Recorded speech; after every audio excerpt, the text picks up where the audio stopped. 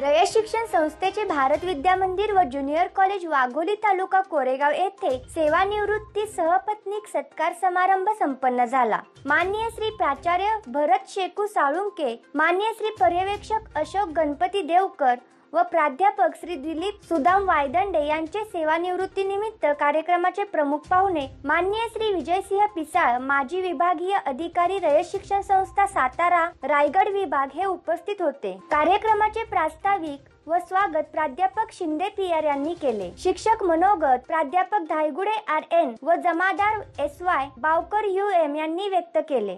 या कार्यक्रमात school committee सदस्य अरुण भोयटे कल्याणराव भोयटे संभाजीराव धुमाळ हनुमंतराव भोयटे माजी प्राचार्य लावंड करंजकोप व सेवानिवृत्ती मूर्तीचे नातेवाईक मित्रमंडळ देगाव ग्रामस्थ उपस्थित होते. सूत्रसंचालन यादव एस आर यांनी केले तर विद्यालयाचे ज्येष्ठ शिक्षक देशमुख योजी यांनी आभार मानले. कार्यक्रम यशस्वी होण्यासाठी सर्व शिक्षक प्राध्यापक शिक्षकेतर कर्मचारी यांनी परिश्रम घेतले. सेवानिवृत्तीनंतर मला इतकं बिलकुलाच बोलता येणार नाही. तुम्ही सर्वांनी मला एवढं प्रेम दाखवलं. माझ्यावरती थोर उपकार केले. माझ्या कुटुंबावरती उपकार केले. आणि तुमच्या सर्वांच्या ऋणात राहायला मला आवडेल. त्या प्रेमात मला राहायला आवडेल. माझ्या सहकार्याने मला भरभरून दिलेलं आहे. ते असंच पुढे द्यावं. त्याने असाच माझा मान ठेवावा सन्मान ठेवावा. आबा या शब्दाचा निश्चित गौरव करावा. सर्वजण आबा आबा मला म्हणतात पण आबा या शब्दाचीच फोडायची आहे की आई आणि बाबा. आई आणि वडिलाचं प्रेम करणारा एकच माणूस असतो की जो आबा या उक्तीला लायक असतो. आणि म्हणून मला आज जिल्हाभर सर्व शाखामध्ये आबासाहेब म्हणतात आबा म्हणतात माझ्या आडनावाचाही कुणी फारसा उल्लेख करत नाही. नावाचा तर करायचं कुणी धाडस बी करत नाही.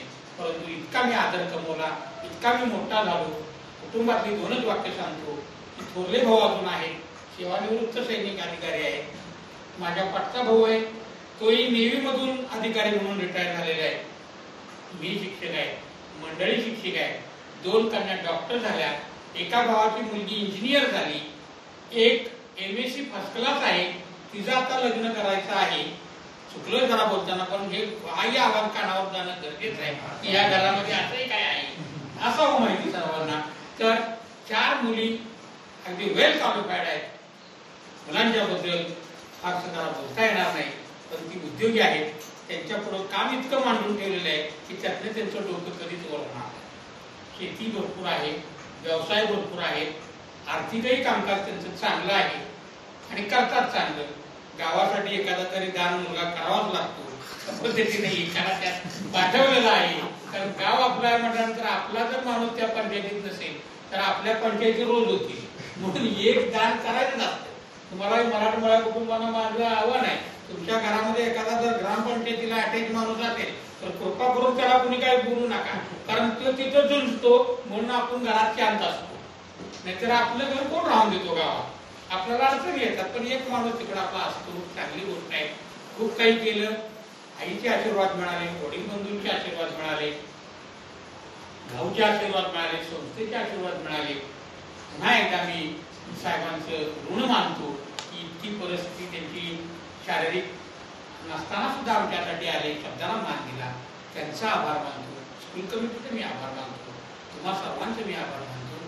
आणि तुम्हा सर्वांना या बैठकीमध्ये ज्यांनी ज्यांनी मला दीर्घायुष्य लाभाने आशीर्वाद दिले तेच आशीर्वाद मी आता या ठिकाणी परत करतो की तुम्हा सर्वांना परमेश्वरानं एक दिवसाचं आयुष्य माझं कमी करावं तर तुम्हा सर्वांना दीर्घायुष्य लाभावं एवढी प्रार्थना करतो.